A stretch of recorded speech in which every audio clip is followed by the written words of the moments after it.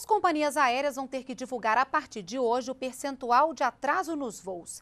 As empresas que descumprirem as regras podem ser multadas.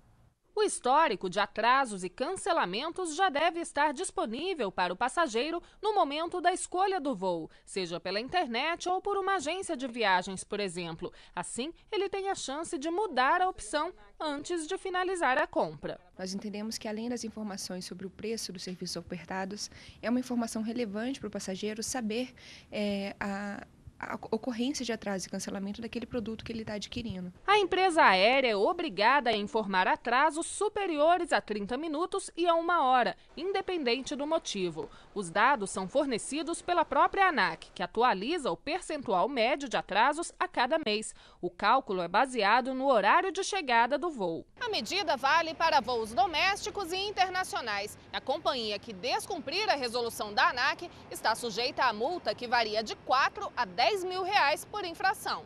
Passageiros acreditam que a medida possa evitar contratempos. Vai ser um, menos é, surpresas desagradáveis né, na hora do embarque. Isso é uma possibilidade a mais para o passageiro para garantir com os seus compromissos.